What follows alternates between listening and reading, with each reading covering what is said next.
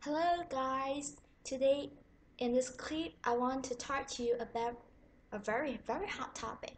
It is plastic surgery and then I will answer the question Should it be illegal for teenagers to go under plastic surgery? First, I would like to ask you a question. What comes out of your mind when hearing the word plastic surgery? Is that a Hollywood star trying to delete the effects of aging? Or is that a number of actresses and actors going under the knife to become more beautiful? What about V-line chin, great side breast, and high nose?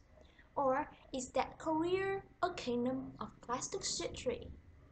All that those images are right. However, plastic surgery does mean more than that. Now, let's define what plastic surgery is Interestingly, you know that the word plastic doesn't mean patients who have this surgery end up with a face full of fake stuff. Indeed, plastic in Greek means to form or to mold, and there are two types of plastic surgery.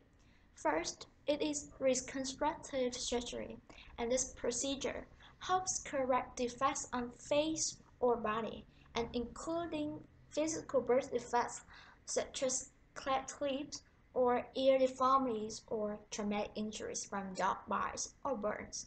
The second type is cosmetic surgery and also called aesthetic surgery.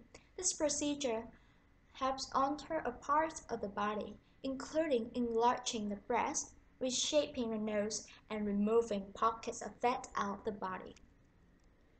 And you know, in fact, not just adults, but the number of teenagers craving for changes for better look is on the rise.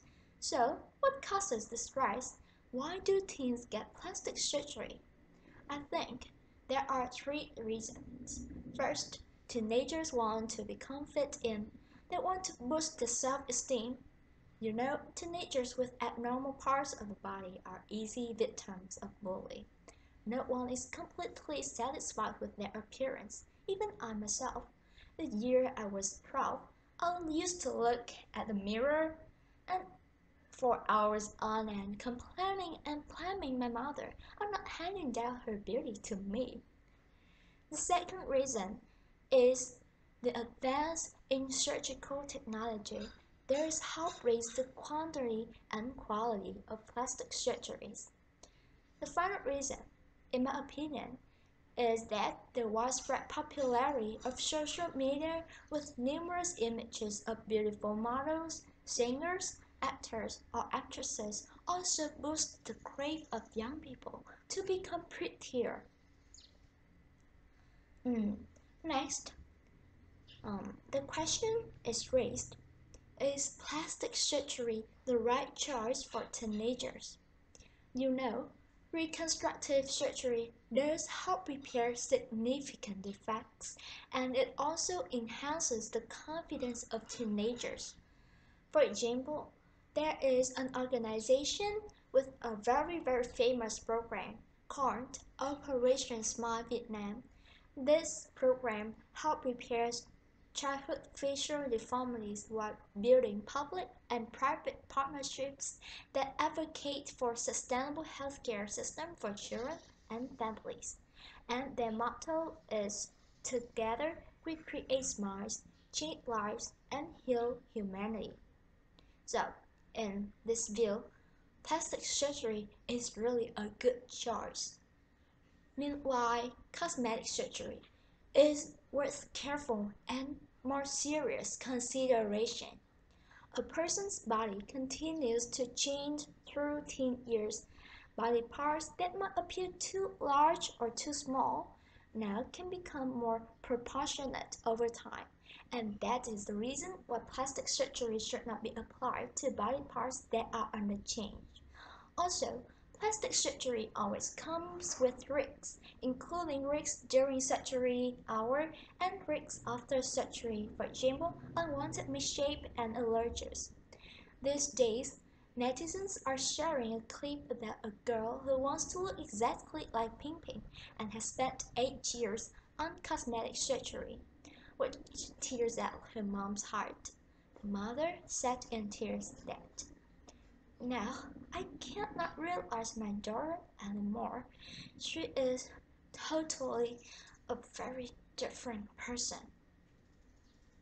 Mm, in this view, cosmetic surgery is not at all a right choice.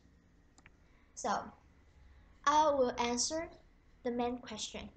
Should plastic surgery be illegal for anyone under 18? After formal discussion, my answer to this question is absolutely no. And here is my suggestion.